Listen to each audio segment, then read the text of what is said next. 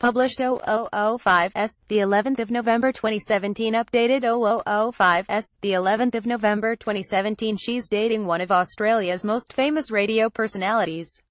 But Rebecca Harding went without boyfriend Andy Lee on Saturday, when she stepped out for Stakes Day at Flemington Racecourse in Melbourne. Dressed in a short floral dress with a hemline that finished well above the knee, the 26-year-old put on a leggy display at the racing event.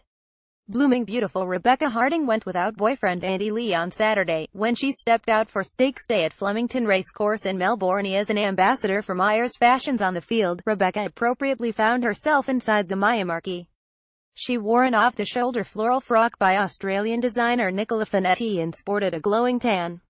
Instead of a traditional headpiece, Rebecca wore a black wide-brimmed hat for the occasion. Fashionista Rebecca wore an off-the-shoulder floral frock by Australian designer Nicola Finetti accessory instead of a traditional headpiece. Rebecca wore a wide-brimmed black hat. She styled her brunette hair in loose waves and accessorized with a hot pink clutch. Rebecca appeared to go solo on Stakes Day, despite being joined by boyfriend Andy Lee, 36, at Derby Day last weekend. The couple have been the subject of engagement rumors for several months. Where was he Rebecca appeared to go solo on Stakes Day, despite being joined by boyfriend Andy Lee, 36, at Derby Day last weekend. They first started dating in 2015, but their relationship has not always run smoothly. Last December, they rekindled their romance following a brief separation. Andy previously dated Australian supermodel Megan Gale, before they split in 2010.